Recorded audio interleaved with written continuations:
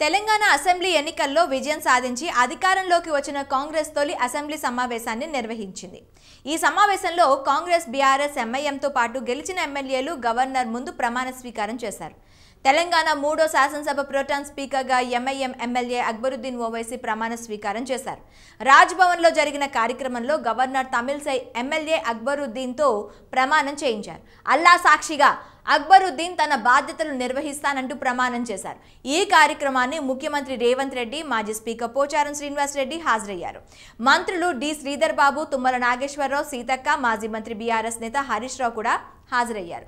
BJP party తరపున గెలిచిన ఎనిమిది మంది ఎమ్మెల్యేలు మాత్రం గైర్ హాజరయ్యారు ఈ తరుణంలోనే గోషామహల్ బీజేపీ ఎమ్మెల్యే రాజాసింగ్ కీలక స్టేట్మెంట్ పాస్ చేశారు.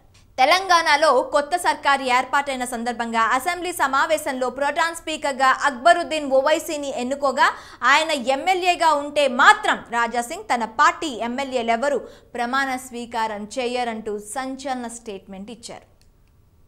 మరోపక్క నూతనంగా ఎన్నికైన బీజేపీ ఎమ్మెల్యేలతో ఆ పార్టీ రాష్ట్ర అధ్యక్షుడు కేంద్ర మంత్రి కిషన్ రెడ్డి బీజేపీ రాష్ట్ర కార్యాలయంలో భేటీ అయ్యారు. అంతకు ముందు భాగ్యలక్ష్మి అమ్మవారికి కిషన్ రెడ్డి బీజేపీ ఎమ్మెల్యేలు ప్రత్యేక పూజలు నిర్వహించారు.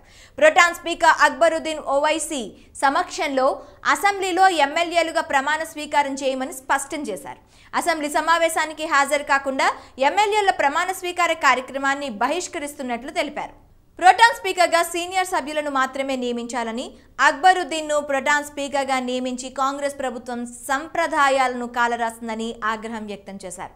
కాంగ్రెస్ మజ్లిస్ పార్టీలకు లోపాయకారిగా ఒప్పందం ఉందని అదే ఇప్పుడు బయటపడిందని కిషన్ రెడ్డి ఆరోపించారు.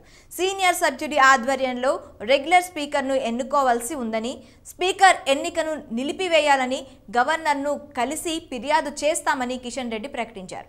మజ్లిస్ పార్టీతో ఒప్పందం మేరకే అక్బరుద్దీన్ను ప్రొటాన్ స్పీకర్ చేశారు. తుమ్మినా దగ్గినా కాంగ్రెస్ ప్రభుత్వం పడిపోతుందని కిషన్ రెడ్డి సంచలన వ్యాఖ్యలు చేశారు.